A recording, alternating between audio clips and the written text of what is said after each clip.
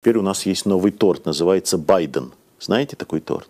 Нет еще. Нет. Это то же самое, что Наполеон, только без яиц. Путин серьезно думал о том, что он может уйти. Он один из очень немногих людей, которых вообще я встречал э, в жизни, которые могут говорить с совершенно разными людьми. Это такой дар как бы вербовки. Украине надо быть готовым к тому, что эта проблема встанет. Конечно, политики это начнут политизировать, и журналисты это начнут раздувать и раскалывать общество. Какой реальный рейтинг Путина и партии «Единая Россия»? Я приветствую всех, кто вместе с нами на Политека. У нас сегодня особый эфир в нашей студии. Бывший советник президента Российской Федерации по экономическим вопросам Андрей Илларионов и капитан первого ранга ВМС США в отставке Гарри Табах. Господа, рад вас видеть. Спасибо, Добрый день. Спасибо, спасибо. А, Прежде чем мы начнем обсуждать э, актуальные темы, я думаю, что в качестве такого небольшого э, вступления у многих наших зрителей может возникнуть вопрос, а что, собственно, объединяет и, конечно же, разделяет бывшего советника российского президента и американского военного? И чем вы занимаетесь э, в Украине? Андрей Николаевич, начнем с вас, потому что Гарри то чаще приходит к нам. Я не знаю, что нас разделяет. По-моему, такого ничего нет. По-моему, все, что есть, нас объединяет. А что конкретнее именно вас объединяет? Взгляд на мир. Взгляд на мир и на то, что происходит э, в нынешних, в, в сегодня и в Соединенных Штатах Америки, и в России, и в Украине. Удивительно, но наши подходы, наши взгляды, наши отношения э, к событиям, к действиям, э, к разным людям оказываются очень близкими и или совпадающими. Гарри? А, да, я согласен с, с Андреем Николаевичем полностью. Это было такое немножко так сюрреализм, что ли, потому что когда я слушал передачи Андрея Николаевича, ну, во-первых, я считаю, что э, я, у меня может быть там 3-4 человека в жизни, которые я могу назвать моими учителями. Но это обычно были люди старшие, в званиях, в, чинах.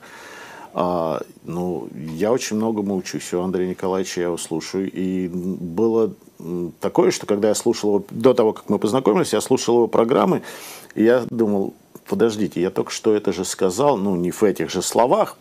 Андрей Николаевич ученый человек, а я более такой э, казарменный. И я говорил то же самое, ну, даже некоторые слова совпадали. Я, мне люди стали писать, но это же Иларионов сказал там две недели тому назад. Я подумал, люди думают, что я занимаюсь плагоризмом. Пл- Про есть такое слово плагоризм? Плагиат. Плагиатом. Плагиат. Плагиатом. Плагиатом по- по- по-русски. Что я занимаюсь плагиатом, и когда мы встретились на какой-то из программ, сказал Андрей Николаевич, я прошу прощения, но я не повторяю то, что вы говорите, это просто так совпадает.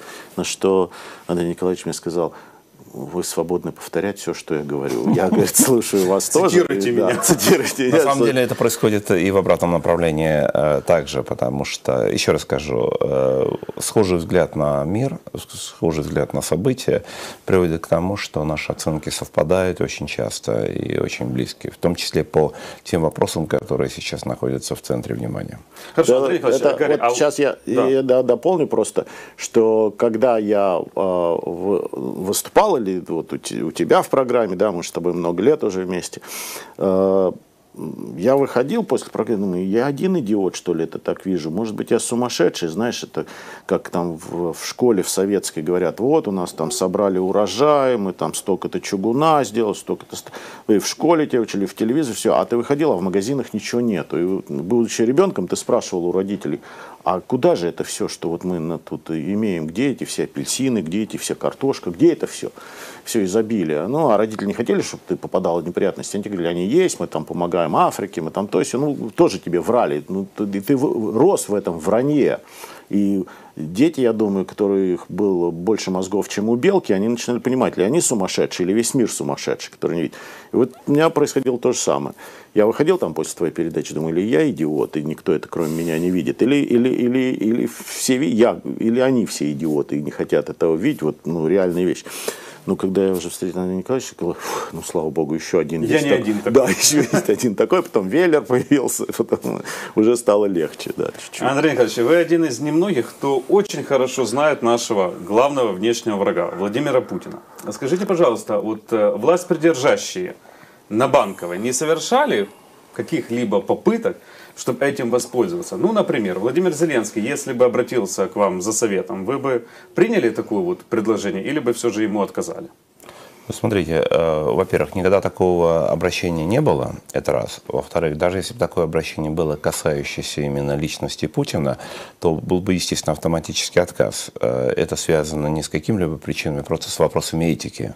Э, я работал с Путиным там, в течение почти шести лет, и когда ты работаешь с человеком, независимо от того, кто он, этот человек, ну, есть определенные отношения между людьми, которые работают вместе, которые регулярно встречаются, и Эм, информация, которая становится известным, э, ну, я, по крайней мере, для себя считаю невозможным э, эту информацию, она какая-то информация, может быть, является секретной, какая-то не является секретной, но с моего с моей точки зрения, по этическим соображениям этой информацией делиться нельзя.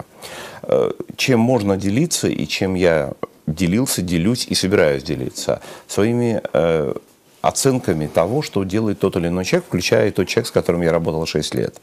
И я этим делился публично, и тогда, когда работал э, советником, и после того, как ушел, и делаю сейчас. Причем это касается тех случаев, когда я согласен э, с Путиным, Раньше было больше, сейчас меньше, почти очень редко, но бывает и такое. И тогда, когда я не согласен. И это было не только тогда, когда я ушел с этого поста, но и тогда, когда я работал советником. Я публично критиковал э, Путина, будучи его советником, что приводило в состояние истерики э, всех сотрудников администрации президента России. Надо отдать должное Путину, что, по крайней мере, тогда он, ну, впрочем, и сейчас, он э, как бы не принимал действий э, в, моем, в мой адрес, э, касающихся э, вот, моих критических высказываний в его адрес.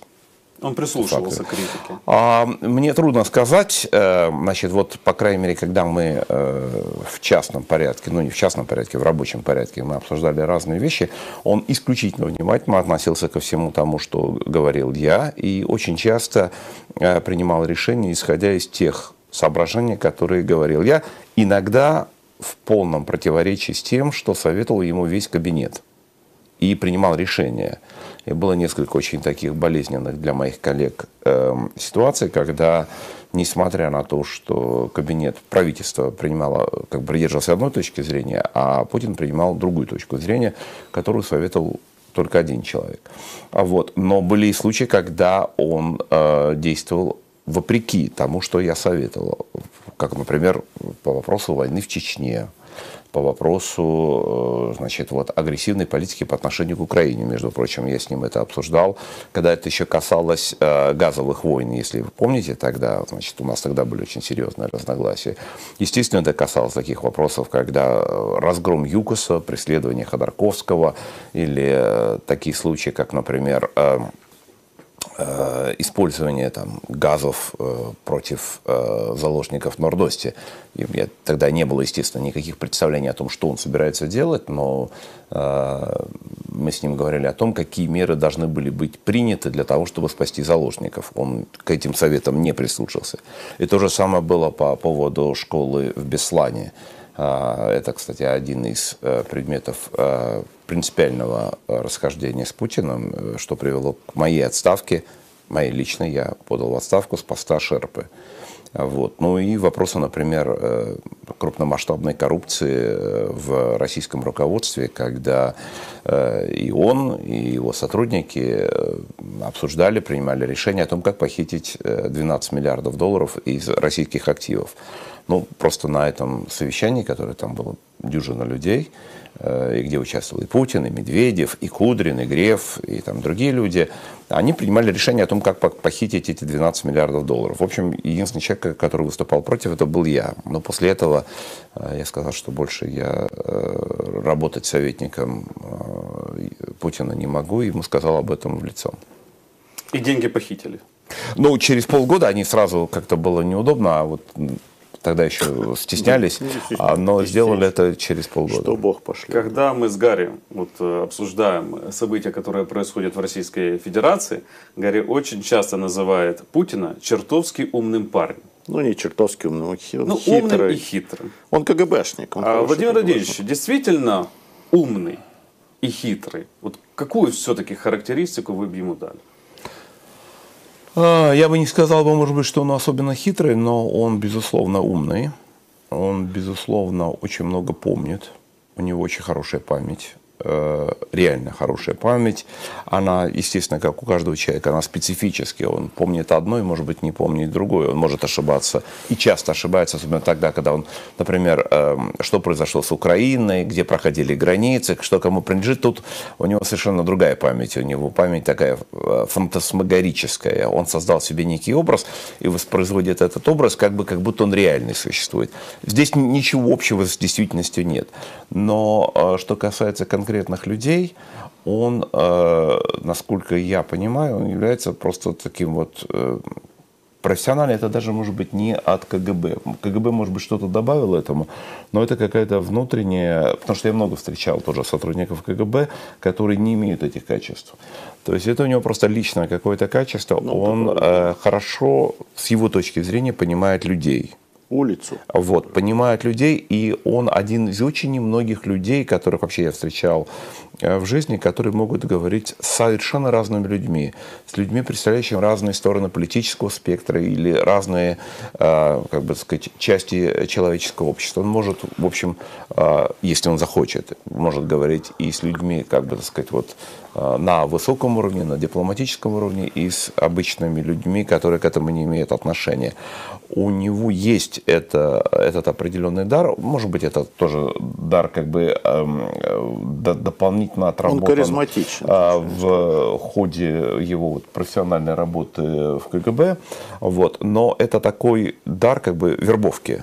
А, вербовки и в, э, так сказать, в традиционном смысле слова, и даже в более широком смысле. Он как бы вербует своего собеседника для того, чтобы этот собеседник, если он является противником, стал бы как, как минимум нейтральным, по отношению к нему, либо его сторонником. Путин он располагает мировых лидеров. Он, он располагает себе, он, он действительно настроен, это психологически настроен на то, чтобы его собеседник, человек, с которым он говорит, а, стал бы его соратником, союзником, помощником, или, по крайней мере, не противодействовал бы ему. И для того, чтобы э, отставить свою точку зрения в этой ситуации, требуются особые усилия у человека, кто ведет такой разговор. А, и он, э, вот когда он разговаривает один на один, он добивается очень серьезных результатов. Когда он начинает говорить на широкую публику, где присутствуют разные люди, это его особое качество перестает действовать, потому что люди же разные, и взгляды у них разные, интересы разные, подходы у них разные, психология разная.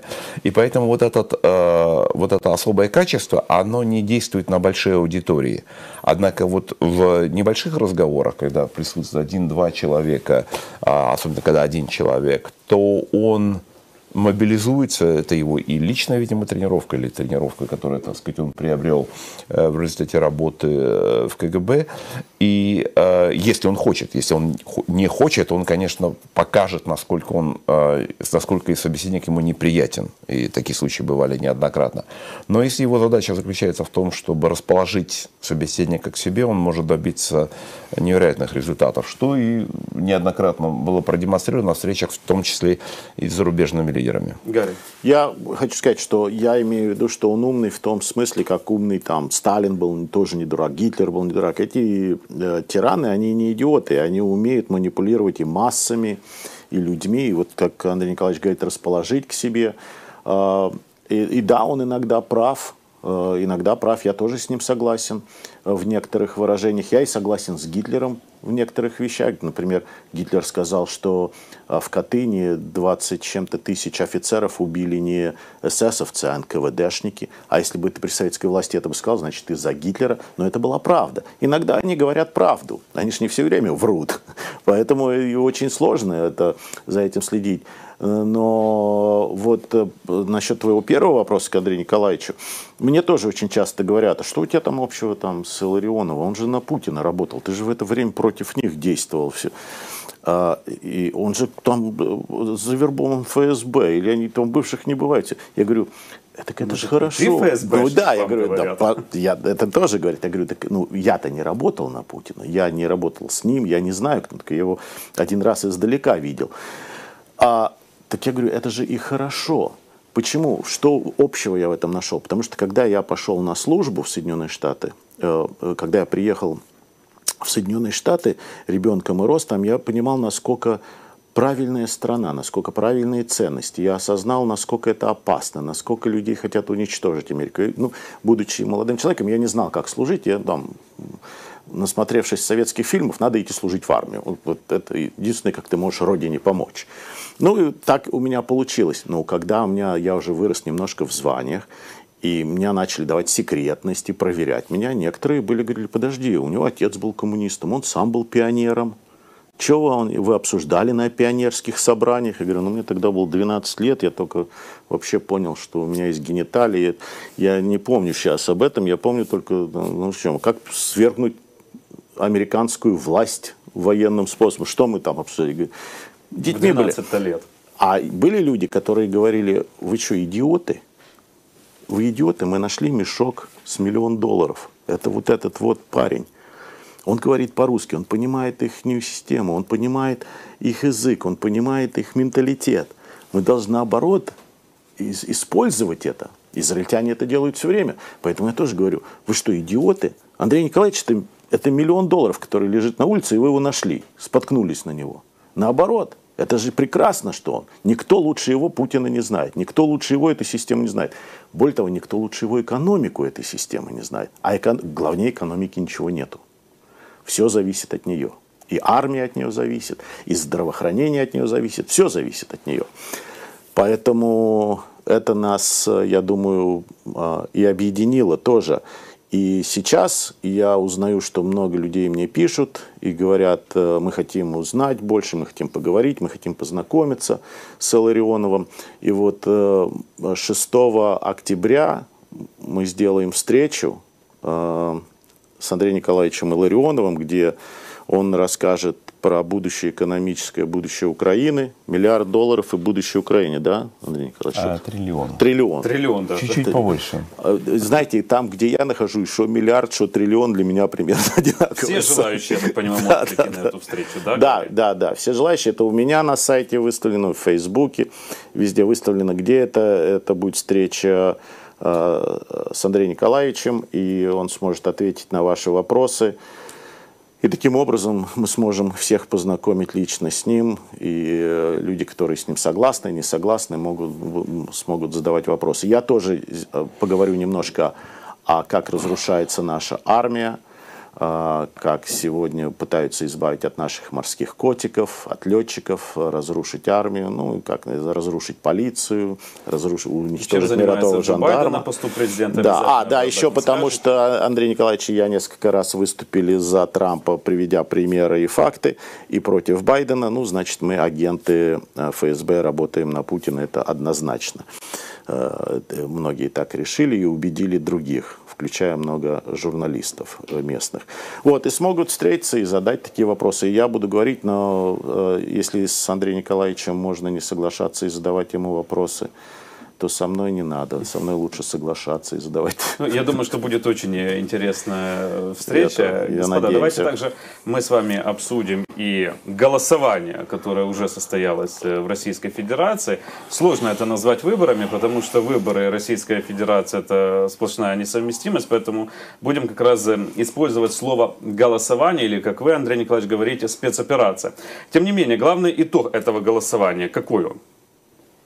Ну, сохранение жестко авторитарного политического режима в России с элементами тоталитаризма.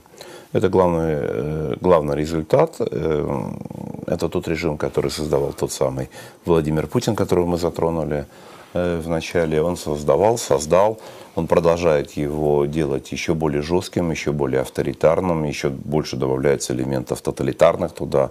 А, то, что еще когда-то можно было как-то называть оппозиция уничтожена полностью. Сейчас уничтожена не только оппозиция, уничтожены э, основные элементы гражданского общества, альтернативного или не совпадающего с политическим режимом. Это продолжает, этим продолжает режим заниматься, э, приближается, мало-мало сейчас отличается, чем от белорусского режима, и такими хорошими темпами приближается к туркменскому и северокорейским образцам. Знаем, что Центральная избирательная комиссия уже обработала все 100% э, бюллетеней, э, протоколов, 48 или 49% набрала «Единая Россия». Скажите, а какой реальный рейтинг Путина и партии «Единая Россия»? Это невозможно установить. А, есть особенность для социологии. Вот есть наука социология, которая измеряет общественное мнение, изменение, э, измеряет и мнение отдельного человека, и больших групп людей, в том числе всего общества. А сама социология зародилась и развивалась, и достигла величайших э, вершин э, развития в свободных обществах, в демократических обществах. Потому что только в свободных обществах можно теми инструментами, которые существуют, измерить мнение людей. Поскольку, по крайней мере, в свободных обществах люди, по крайней мере, многие из них, могут высказывать свою точку зрения, не опасаясь санкций за высказывание своей точки зрения. В авторитарных режимах, в жестко авторитарных режимах, тем более в тоталитарных режимах, колоссальное количество людей запугано, они боятся высказывать свою точку зрения – Раз. Второе. Даже тогда, когда они, некоторые из них не боятся высказывать свою точку зрения, их точка зрения определена в значительной степени э, монопольной точкой зрения, монопольной позиции, сформированной государственной пропагандой. И поэтому даже тогда, когда применяются стандартные методы социологического обследования в авторитарных режимах, получаемые результаты не дают реального отражения мнения миллионов людей, они получаются искаженными. Именно поэтому в условиях Советского Союза социологии, как науки, исследующие общественное мнение, реально не существовало. Она стала появляться только в 1987-1988 году, когда был э, создан первый ВЦИОМ, еще знаменитый Левадовский ЦИОМ, который стал исследовать э, общественное мнение. Почему это стало возможным? потому что страна из тоталитарной стала постепенно, ну, достаточно быстро превращаться в открытое общество, и тогда появилась эта возможность.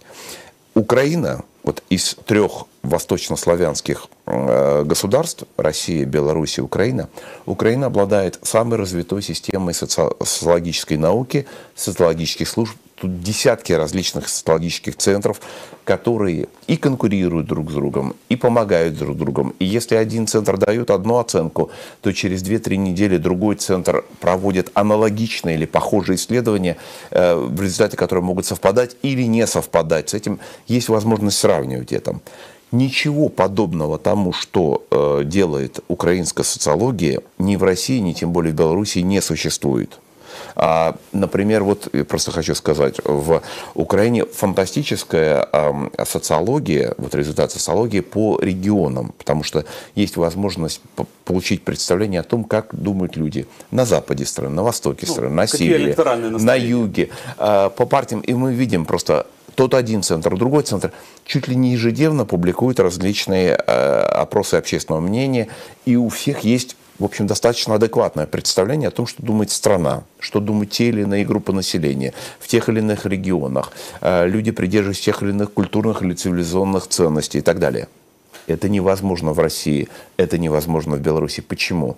Потому что э, в этих двух странах существуют жесткие авторитарные режимы, в которых люди, а, запуганы, б, а, значит, э, их мнение сформировано пропагандой, и э, с, просто сама наука как социология является врагом режимов, потому что эта наука дает представление, могла бы давать представление о том, как могли бы думать люди.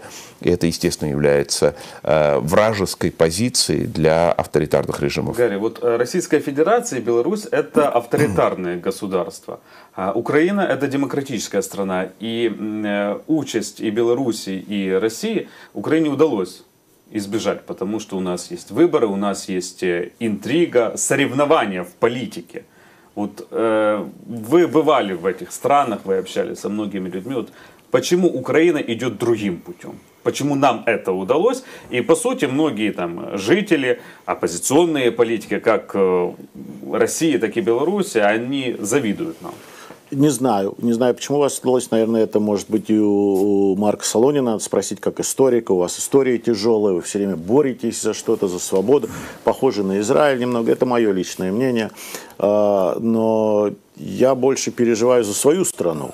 За Соединенные Штаты Америки, потому что мы из демократического, вот такого, как Украина, которая всегда боролась, боролась за других, чтобы везде вот эти американские ценности были, демократия, мы превращаемся вот в это авторитарное, где мы уже боимся что-то говорить. А если что-то скажем, уволят с работы, тебя из института, который должен это защищать, свободу слова. А когда сын Байдена попадает в какую-то неприятность опять президента, и э, такие люди, как Андрей Николаевич, начинают об этом говорить, или в Афганистане что-то происходит, сразу атака на этого человека, причем сразу видно из блогеров, журналистов, сразу начинают, сразу начинают атаковать человека. И с российской стороны, и даже поэтому моя страна, и когда говорили, э, что это Трамп будет диктатором, это Трамп нас лишит демократических институтов, как свобода слова, как ношение на оружие, вторая поправка, то получается до точности наоборот – Соединенные Штаты становятся авторитарными. Мы боимся что-то говорить, потому что нас уволят, потому что нас забанят, потому что нас санкционируют с Ютуба. Да, с нами такое страйки происходило с тобой. Да. Страйки дадут из-за того, что табак что-то не то ляпнул, а, а ты, Вадим, не поймал это и выставил в Ютуб.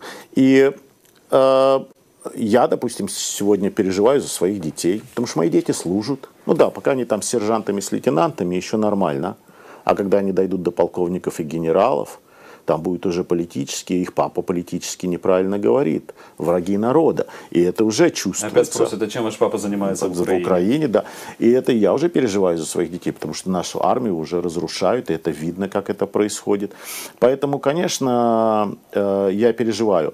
А опять же скажу словами Андрея Николаевича, а почему это происходит? Вот надо задать себе вопрос, а почему? Почему Украина тогда не получает военную помощь? Почему у Украины до сих пор нету посла Соединенных Штатов Америки? Мы, может быть, потому что вы чересчур свободолюбивые и не хотите идти в ногу с ротой с Россией, с Белоруссией, Соединенными Штатами, с, с Европой, туда, в Давос – туда, где все поровну. И как где... минимум ПДЧ нам никто не Да, не определяет. Вот задайте Гарри, себе этот вопрос. Но я хочу сказать Америки, про, да. про выборы, я хочу сказать про выборы, Николаевич, когда я считаю, когда начинают люди говорить анекдоты про, про что-то там, про, про президента, про партию, ты уже понимаешь, как советский человек, что уже что-то не то. Как сегодня у нас в Америке анекдот есть, что теперь у нас есть новый торт, называется Байден. Знаете такой торт? Нет еще. Нет. Это то же самое, что Наполеон, только без яиц. Вот. Да. И э, когда начинаются такие анекдоты, и то, же самое, и то же самое про выборы, когда приходит, кто там из избиркомом командует в России, я забыл. А, Госпожа Памфилова. Памфилова приходит к Путину и говорит, у меня есть хорошая новость и плохая новость. Он говорит, какая? Он говорит, давайте сначала хорошую. Он говорит, вы победили на выборах, вы президент Российской Федерации. Он говорит, какая плохая? Он говорит, за вас никто не голосовал. Так что, когда такие анекдоты выходят, то ты уже понимаешь, что э, народ Господа, вернемся а вот если можно, голосованию. Вадим, да, вот как да, раз, пожалуйста. может быть, по поводу вот э, к этой теме, это, может быть, тоже названо анекдотом, но, по сути дела, это один из важнейших признаков определения свободного или несвободного режима. Когда ты знаешь, кто побеждает, кто победит на выборах, или на, в результате, кто будет объявлен победителем голосования – это гарантия того, что это не свободный режим. В России все знают, кто окажется победителем голосования на президентских так называемых выборах или на парламентских так называемых выборах. Никакой интриги нет. Известно. Да. Все знают, кто будет. И это знают последние 20 лет. А что касается свободной страны, как в Украине, до последнего момента стопроцентной гарантии, кто победит, нету за полгода до президентских выборов никто не знал, кто станет президентом Украины. А, и в этот раз, и в предыдущий. Кто останется, даже как мы теперь знаем, кто останется до конца президентского срока, это до конца неизвестно. Это говорит о том, что это свободная страна, потому что это постоянное изменение политической ситуации, интересов, взглядов, позиций э, людей, и это может измениться в любой стране. Это живая система, а не мертвая установленное, когда все знают, задолго, у нас теперь такое, до 2034 года все знают, э, кто будет президентом э, России. У нас что было раньше, это, вот, это такой пример. Раньше был так тоже анекдот на эту тему был. Говорят, что в России знают, кто будет президент до выборов. В Америке не знают, кто будет президент, пока не будут выборы. А в Израиле не знают, кто президент даже уже после выборов. Они еще да. не знают, они еще продолжают спорить. Ну, у нас тоже сейчас. Андрей Николаевич, э, скажите, пожалуйста, вот после думского голосования наверняка в Кремле может э, актуализироваться тема а, преемника Владимира Путина, или же, как называют еще другими словами, транзита власти. Существуют ли определенные сценарии, и э, можем вспомнить 2007 год, э, когда среди преемников Путина э, называли там, или Дмитрий Медведев, или Сергей Иванов, но выбор пал как раз на Дмитрия Медведева. Я думаю, что эта ситуация была одноразовая. Ситуация 2005-2008 годов, когда Путин серьезно думал о том, что он может уйти из власти, хотя он понимал, что он будет, этот уход будет постепенным. И он думал о том, кого он мог бы оставить на посту, кто полностью удовлетворял бы его и кто обеспечил бы ему безопасность. А эксперимент, который он провел с господином Медведевым в 2008-2012 годах, убедил его в том, что никому, вот, никому доверять нельзя. Вот как учил нас э, господин Мюллер, бригаденфюрер, из того, что в этом мире никому нельзя доверять. Мне можно. Даже есть, самому себе. А вот ему можно. То есть, вот, и он понял, что доверить э, эту важнейшую позицию – который обеспечивает его личную безопасность, его личную жизнь и жизнь его близких, дорогих ему людей, он не может никому. Поэтому все, что мы слышим по поводу преемника, наследника, наследницы а, и так далее на эту тему, с моей точки зрения, а, свидетельствует лишь о некоторых фантазиях этих авторов, которые бы выражают либо свое собственное мнение, либо мнение, которое им подброшено, а, в том числе чрезвычайно удачно в качестве спецоперации, для того, чтобы отвлекать э, широкие массы э, наблюдателей от принятого, глубоко внутренне принятого решения о том, что он никуда уходить не будет до конца. Андрей Николаевич, э, очень интересная ситуация сложилась вокруг Дмитрия Медведева, бывшего президента Российской Федерации, а ныне э, председателя партии «Единая Россия». Ну, традиционно мы знаем, что председатель партии идет во главе списка или как минимум входит в первую пятерку. Но в случае с Дмитрием Медведевым получилось все наоборот. Он не повел партию во главе списка, не вошел в первую пятерку. Почему? Он оказался на задворках российской политики. Ну, главная причина заключается в том, что принципиальное решение, и даже не только принципиальное решение, принимает в России один человек. Это вот не просто авторитарный режим, это не просто авторитарный режим с признаками тоталитаризма, это сугубо персоналистский режим, где важнейшее решение принимает один человек. Если этот человек принял такое решение, значит оно будет исполняться. И в этом смысле вот аналогии, которые вот Гарри упоминал со Сталином или с кем-то другим еще, а, имеют право на существование. Это может быть не такой режим, как был сталинский, но важно, то есть, потому что Путин это не Сталин ну, да. в этом плане.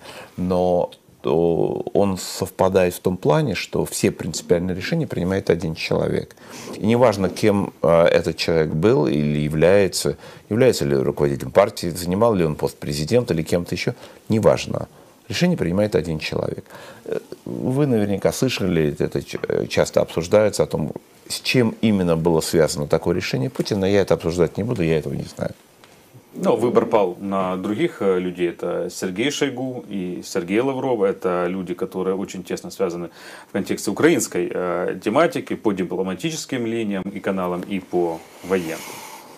Угу. А, Гарри, вот э, опять-таки я понимаю, что это в Украине довольно-таки непопулярная затея, следить за думским э, голосованием, но я думаю, что вы э, для себя что-то почерпнули вот с этих выборов, какие-то интересные моменты все же отследили. Ну, конечно, я отследил, потому что я их сравниваю с нашими моментами. И э, теперь я уже, если я даже раньше думал, что, может быть, э, мы это учимся этому у россиян, то сейчас, я думаю, может быть, и россияне от нас учатся. И потом, конечно же, они всегда могут показать и сказать, э, смотрите, что у американцев происходит, что вы нас тут критикуете. У нас только что прошли выборы в Калифорнии. Да? Калифорния один из самых богатых штатов в стране при Рейгене был номер один штат, когда Рейген был губернатором Калифорнии. Сегодня это самый худший штат, у которого дефицит бюджета, не знаю, там триллионы долларов. Бездомный, на улицах, э, извините, э, человеческие э, экскременты. Бандитизм, стрельба на улицах идет. Штат, где запрещено оружие, кстати. И вот губернатора переизбрали. Все говорили, что нет, он не годится, его надо убирать. Во-первых, он не носит маску, только на людях, а сам он э, гулянки устраивает, где без масок, где там члене оргии происходят. Людей, э, бандитов выпускает. Э, генпрокурор Соровский сидит, который только полицию судит. Забирают деньги у полиции. Все говорят, что его надо сменить, все, а он опять выиграл. Как так? Опять останавливается голосование, опять, когда включаются машины, опять он впереди демократ. Ну, знаете, чё, в Киеве чем... киевляне очень часто критикуют э, мэра Виталия Кличко, но все равно переизбирают его. То, С довольно-таки рекордным количеством я, голосов. Я, просто говорю, что э, кто был до мэра Киева? Вы знаете, что, Вадим, извините, да, Гарри, да, на секундочку да. тоже. Вы знаете, э, киевляне имеют право критиковать и должны критиковать и мэра, и президента, и власти и так далее. Но киевляне не знают, каково состояние преступности в Калифорнии это несопоставимо с Киевом. Киев по сравнению с Калифорнией, по сравнению с Соединенными Штатами с точки зрения преступности, это небо и земля, это несопоставимые вещи. А, к счастью для многих жителей Киева, э, они не были на территории Соединенных Штатов ни во время летних погромов прошлого года, ни сейчас находятся в Калифорнии.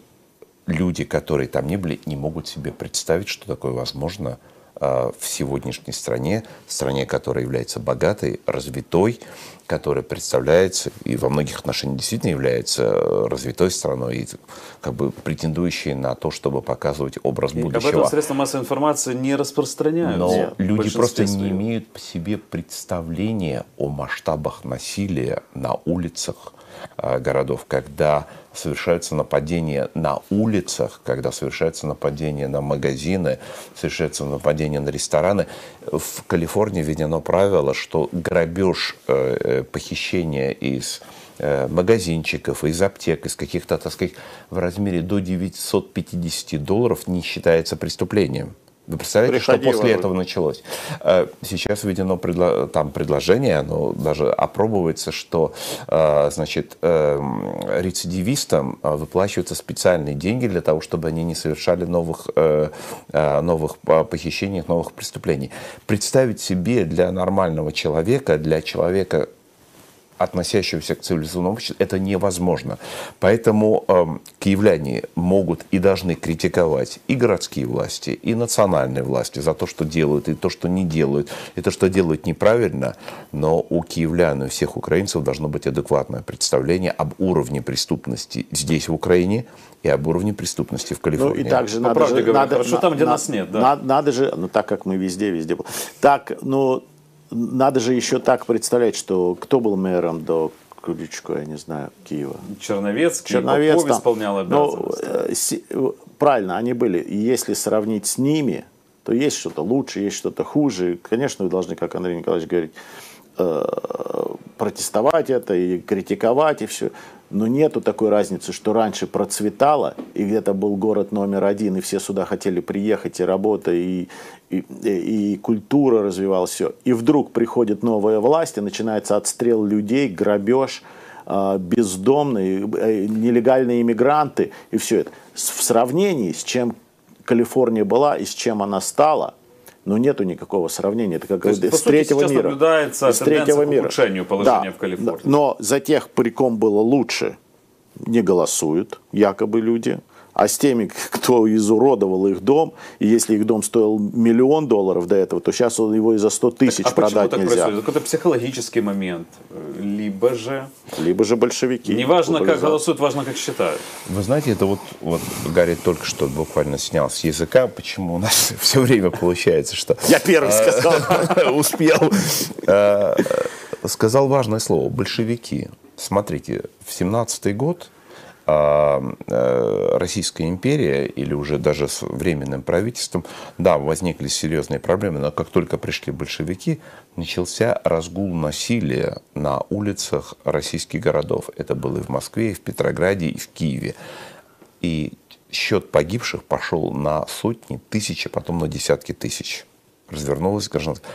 Кто и, и что является главной причиной в изменении характера того общества, которое только что было цивилизованным, образованным, а, которое не боялось выходить на улицах, где работали водопроводы, где работала канализация, где работали все службы. Это произошло буквально за неделю, за месяц. Посмотреть то, что произошло в Петрограде к 2018 году, в Москве, а в Киеве в 18-19 году, что происходило. А, власть изменение власти иными представлениями о том, что должно быть сделать, с запретами, с новыми регулированиями и с требованиями к э, жителям. Все это происходит очень быстро. Это, кстати, говорит всем нам, э, дает нам очень важный урок относительно того, что цивилизация, вообще цивилизация, это очень хрупкое дело. Она создается в течение длительного времени, в течение усилий многих поколений людей – тысячи миллионов людей, разрушить цивилизацию можно очень легко, если приходят к власти люди, целью которых является разрушение этой цивилизации. То, что мы видим сейчас, к сожалению, не только в Кабуле, но и в Вашингтоне, и в Калифорнии, и в некоторых других местах, в Донецке, в Луганске, а когда к власти приходят люди, целью которых является уничтожение цивилизации. И когда они вводят новые правила и нормы, то тогда начинается насилие, тогда начинаются подвалы, тогда начинаются убийства, тогда начинаются грабежи, тогда начинается развал ткани, очень тонкой, очень хрупкой ткани цивилизованного общества. И это минимум, конечно, в каждом этом а, месте есть своя специфика. В Кабуле есть своя специфика, а в ДНР, ЛНР своя специфика, в Калифорнии своя специфика. Но везде происходит разрушение очень тонкой, очень хрупкой ткани цивилизации. По-моему, Регин, разрушить, э, По-моему, Регин сказал, мы всего лишь одно поколение от э, диктатуры. Раз вы вспомнили Донецк и Луганск, э, вернемся сейчас э, немножко к голосованию в Госдуму, потому что украинский след также присутствовал. 150 тысяч жителей Донбасса отдали свои голоса на, хотел сказать, выборах во время этого голосования. Зачем Путину Э, голоса Востока Украины и какую цель он все-таки преследует, вот этой массовой российской паспортизации. Потому что уже роздано 600 тысяч паспортов, и это далеко не предел. Ну, целей, как обычно, у Путина несколько.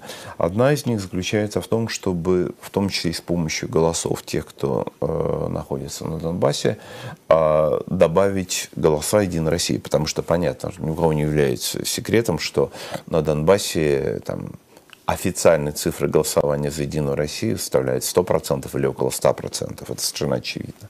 То есть э, в дополнение ко всем фальсификациям, манипуляциям, дополнительно хоть несколько еще сот тысяч голосов добавить э, для Единой России, это совершенно очевидно. А в 2024 году это будет для Путина. Совершенно очевидно. Но вторая цель э, является э, геополитической.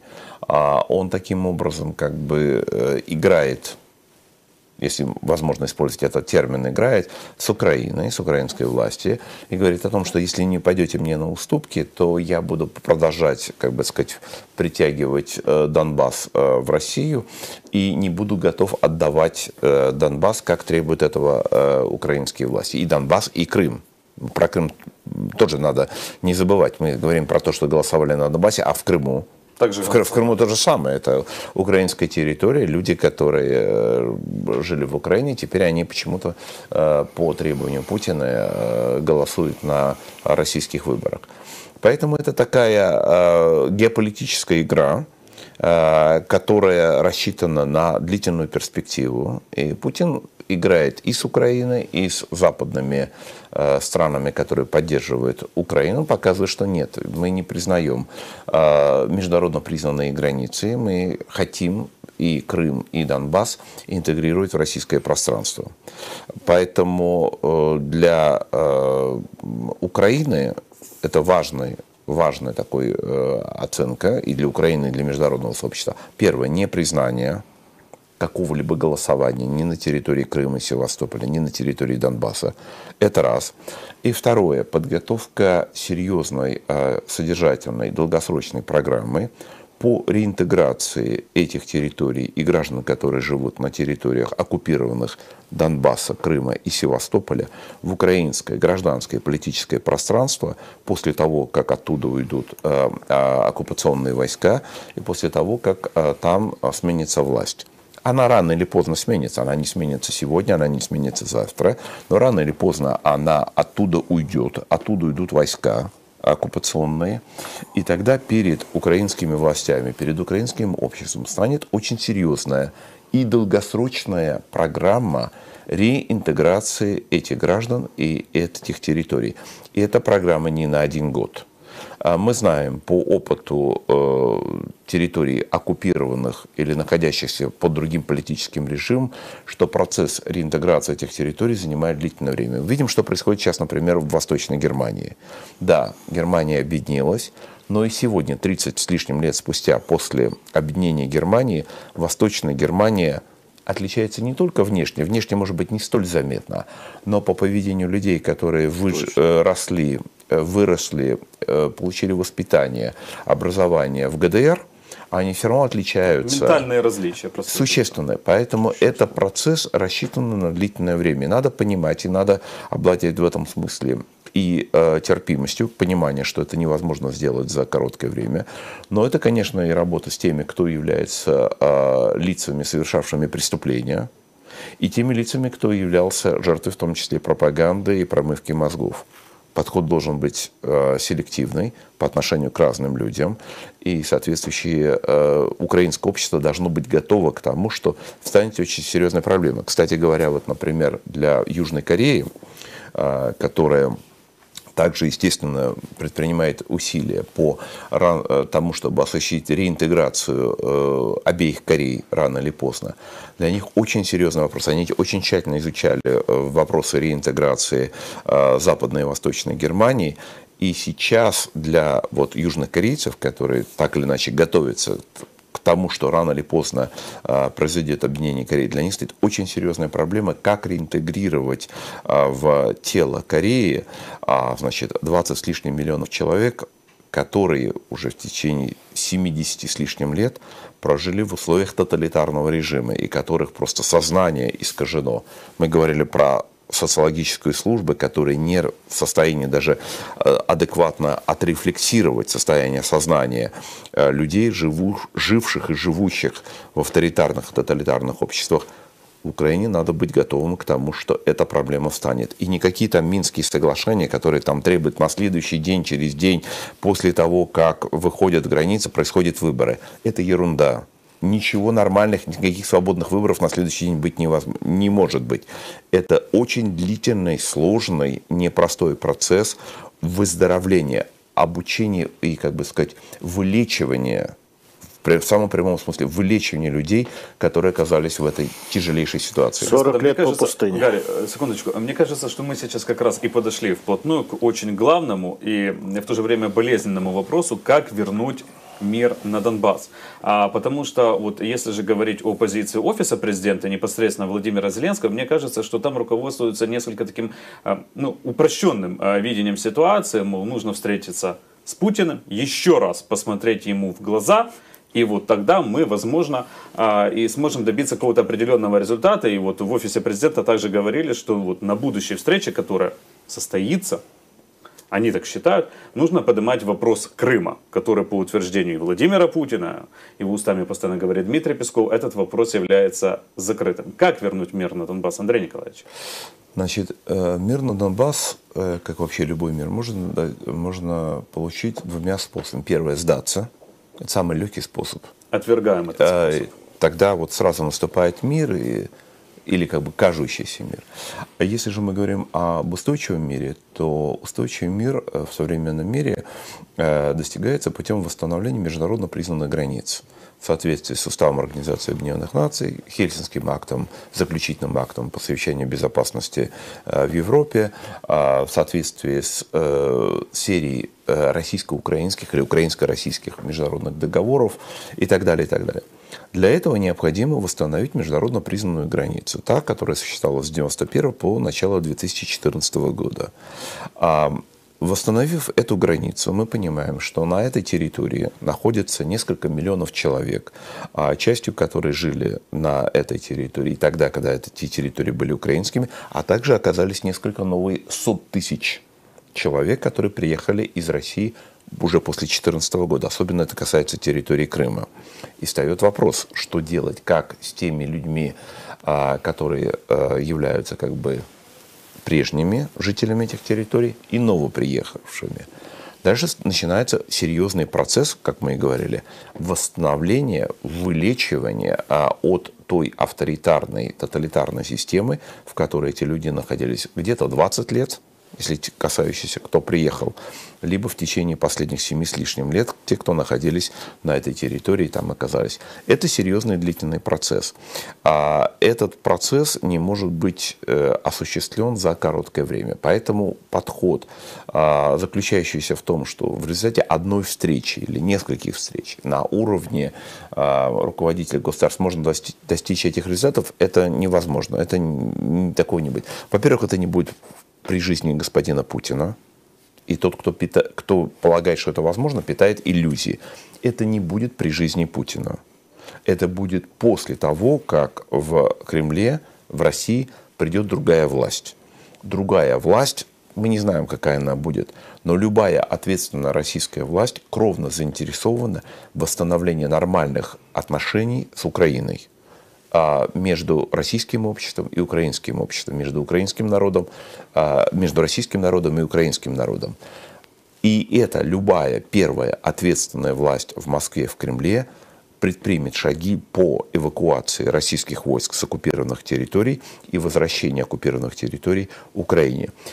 Понятно, что это займет какое-то время, понятно, что это будет сопряжено с разными проблемами, эти проблемы надо будет решать, но это, это задача для любого первого ответственного российского правительства. До этого этого не произойдет.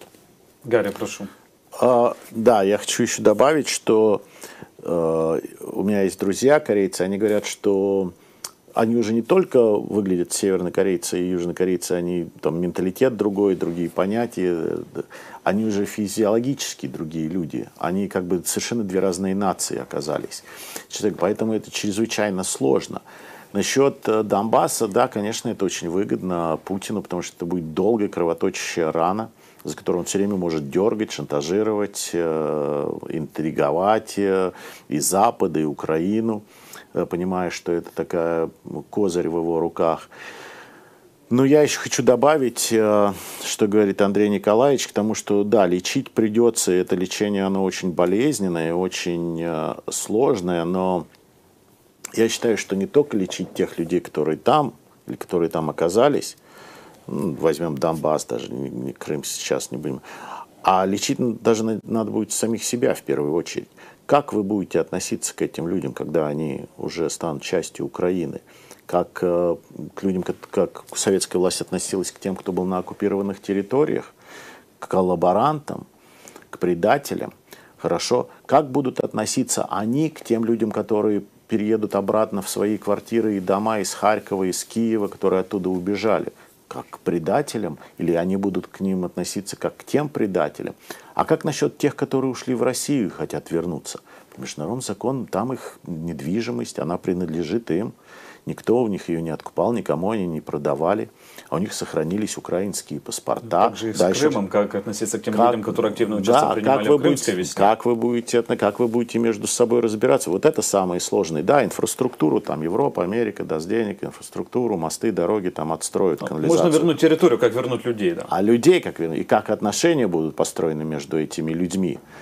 Эти люди, почему они предатели? У них там брат был в России, где-то там в Новосибирске или под Ленинградом. Жить им негде. Они убежали, спасая детей от войны. Просто эти убежали сюда, а те убежали туда. У этих родственников здесь, а у этих родственники там. Вот и все. Они обыкновенные люди. Они просто хотели жить. Больше ничего. Они никакие не предатели.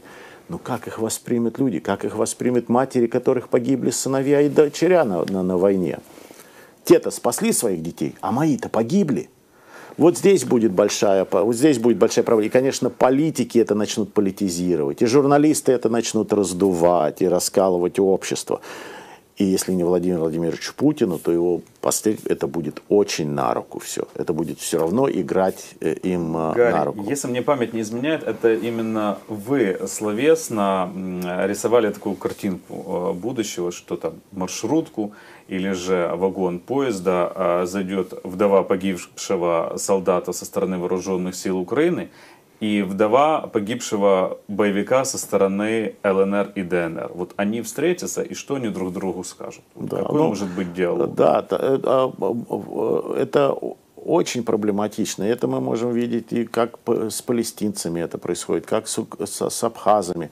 Это в истории происходило. Это очень сложная и болезненная вещь, которая не решается за один день или за, за, за год или за 10 лет а иногда и за сто лет. Я считаю, что единственное, как может быть, и Андрей Николаевич меня поправит, потому что он эксперт в этом деле, если Украина станет экономически сильная, коррупция умень, ну, будет минимальная, а уровень жизни будет высокий, то и Донбасс, и Крым, и все остальные захотят вернуться э, в Украину сами.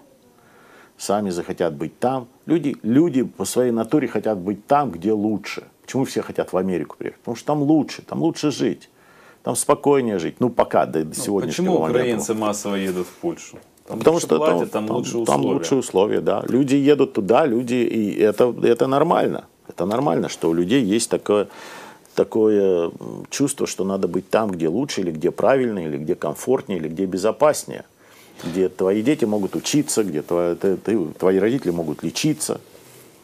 Вы знаете, что вот эм, Сейчас заговорили про Польшу, а вот и, и Гарри, и я буквально там пару недель тому назад были на форуме э, в Карпаче, вместе участвовали там и были в Польше, тоже видели и на форуме, и э, видели саму Польшу, и встречали много украинцев, э, кто сейчас находится в Польше и работает в Польше. Вы знаете, э, я немножко уже рассказывал о том, э, о моих там встречах, но я, вот мне пришла в голову такая мысль исторически вы спрашивали, Гарри, значит, вот почему э, Украина оказалась свободнее, и, может быть, к этому еще вернемся, если этот вопрос интересует. Но вот э, я бы вот на что обратил внимание.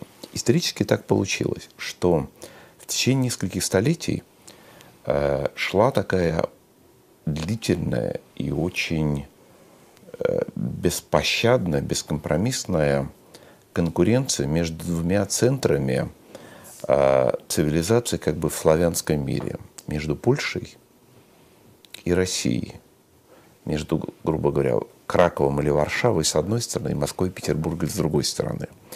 И эта конкуренция шла как бы два геополитических проекта. А, геополитических проекта, политических, экономических, культурных, цивилизационных. И полем конкуренции были такие, в том числе и страны, территория, вот, и Беларусь, и Украина. И поляки, как бы сказать, претендовали на территорию Украины и на украинские души. И москов... московитяне то же самое. Понятно, что у украинцев есть своя собственная точка зрения, своя позиция, не Варшава и так далее. Но вот сейчас на, на каком-то этапе, э, мы знаем, Российская империя, э, осу, осуществив совместно с Пруссией и Австрией трижды раздел Речи Посполитой, а потом еще четвертый раздел в 1939 году, для поляков считается четвертый раздел, а, значит, казалось бы, одержала там какую-то историческую победу, а вот сейчас, глядя на то, куда предпочитают ехать украинцы, где работать и где жить, вот видно, что Польша в качестве модели развития обладает явным преимуществом по отношению с Россией. Это не значит, что украинцы все переедут там в Польшу или все не будут делать. Я уверен, что украинцы создадут здесь, на территории Украины, успешный вариант политического, правового, экономического развития, который будет не хуже польского, возможно, и лучше через какое-то время. Но вот сейчас, выбирая между... Сейчас как бы свободный выбор. Здесь относительно свободный выбор. Э, понятно, что у кого-то вот были родственники в России, те поехали, э, естественно, к родственникам туда. Но у тех людей, у которых есть возможность, нет такой привязки к родственнику, вот где жить, где работать, куда люди тянутся, разговоров нет, конечно, в Польшу для украинцев. И это на самом деле говорит не о том, что э, Почему это происходит? Потому что Польша вот за эти последние 30 лет, прошедших после э, провала коммунизма, после э, крушения коммунизма, смогла создать такую модель, которая является привлекательной и для поляков, и не только для поляков. Туда едут и украинцы, туда едут и белорусы, туда едут и русские э, работать в Польше. И там много таких, кто кто готов там работать и кто там э, готов там жить.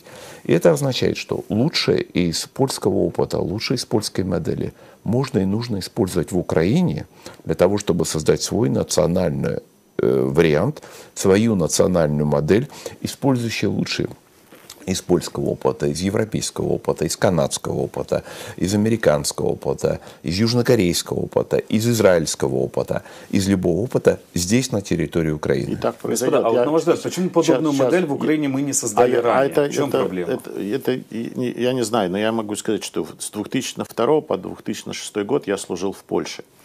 А до этого я был там в Германии, в Америке. И в 90-е годы вот все поляки приезжали в Америку, в Германию, там, в Италию, они работали вот на всех этих там няни, садовники, рестораны, помощники, там, официанты, ну, на таких работах обслуживающего персонала. Все говорили, вот все поляки сейчас уедут из Польши. Когда я служил в Польше, вот эти вот поляки, они стали возвращаться. Их дети получили образование в, в Германии, в Италии, в, в Австрии, в Америке. Они стали возвращаться. И я видел, как Польша расцветала. Вот эти. И сейчас, приехав э, в Польшу с Андреем Николаевичем пару недель тому назад, я ее не узнал вообще. Это какая-то такая европейская обыкновенная страна с дорогами, с машинами, с, с домами. Современная абсолютно страна она сильно не отличается от другой европейской и западной страны. Я думаю, что то же самое произойдет, я согласен с Андреем Николаевичем, произойдет и с Украиной. Эти украинцы, которые сейчас поехали работать и зарабатывать на этих работах на Запад и а, а, в Польшу, они, их дети, они вернутся. Они вернутся уже совершенно другими. Они привезут эту культуру, они привезут эти знания, они привезут этот опыт обратно в Украину. Раньше почему это не произошло, я не знаю. Наверное, потому что у вас сосед такой сильно не отпускает вас далеко погулять. Ну, внутренний Но, фактор. Ну, да. внутренний, конечно. У вас пятая колонна, там все, война. Это все играет, конечно, свою роль.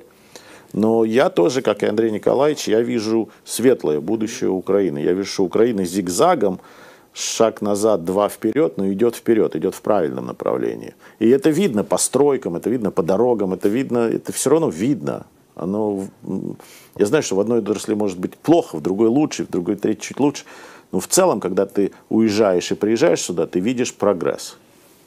Ну что, господа, на этой оптими... Вы хотели еще несколько Я просто сказать, хотел, да? Э, тут много, конечно, тем, но Я понимаю, коротко скажу. К сожалению, должны заканчивать. Да, прошу, Андрей Николаевич. Ну, просто очень коротко скажу, что а, Прежде чем у поляков получилось то, что у них получилось, а у них это безусловно получилось, это общепризнанный это консенсус о том, что э, польское развитие последних 30 лет является образцовым и для нашей части мира, и не только для нашей части мира.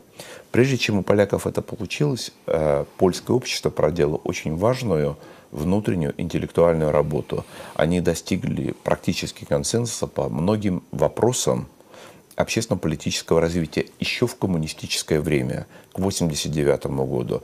А это было сделано благодаря работе э, такого журнала «Культура» иммигрантского, э, издававшегося в Париже.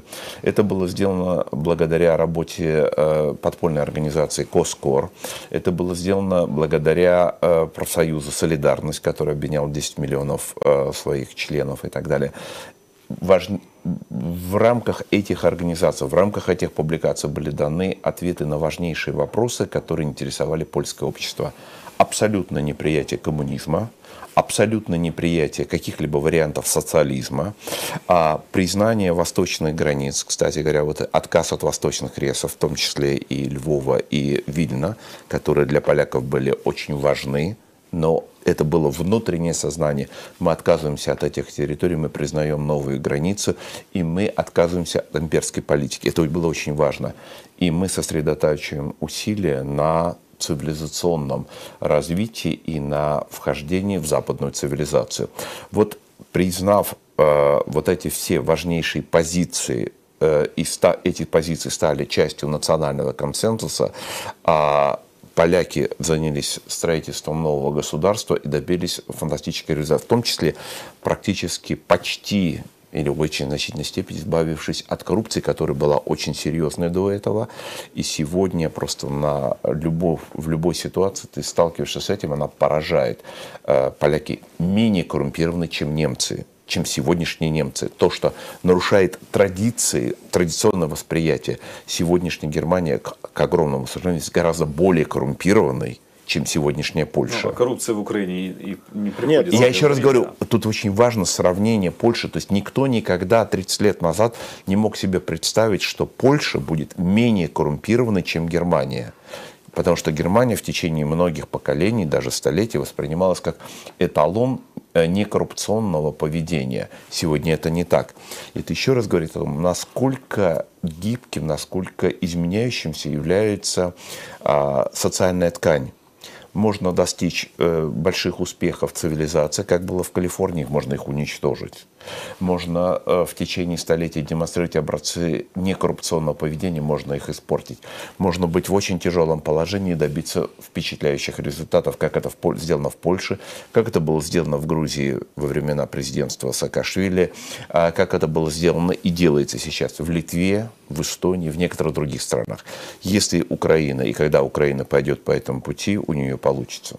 Обязательно получится. И я хочу сказать, что ну, смотреть на сегодня, вот я последний скажу, что смотреть надо, что почему, вот, опять же, этот Давос, этот большевизм сегодня в мире, будь то он в России, будь то он в Америке или в Европе, почему ваши страны так и не, не могут вписаться? Потому что вы идете вот это. Поэтому Польша, Венгрия, Украина тоже будет, их называют, они уже называют их фашистскими а они процветают, и люди там живут лучше, а у них ухудшается, потому что они хотят быть в социалистическом лагере, а вы не хотите. Вы уже там побывали. Вот надо это всегда иметь тоже, об этом думать. Господа, знать. я вас благодарю за этот разговор, за эту беседу. Увы, далеко не все темы мы сумели сегодня обсудить. Времени не так было много, но я уверен, что в ближайшем будущем мы повторим эту дискуссию, этот разговор в таком вот э, составе. Спасибо вам Спасибо. еще раз. Андрей Спасибо Ларионов, бывший э, советник э, президента России по экономическим вопросам, и Гарри Табах, капитан первого ранга ВМС США в отставке, были сегодня вместе с нами на Политека. Спасибо нашим зрителям за внимание. Всего доброго и берегите себя.